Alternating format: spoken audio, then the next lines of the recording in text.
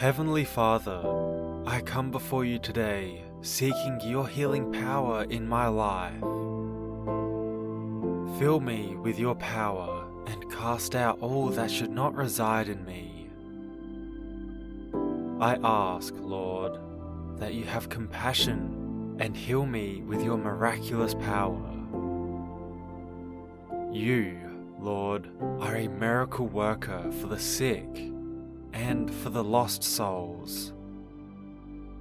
I bow before you just as I am. I invite you into my life and I accept you as my Lord and Saviour.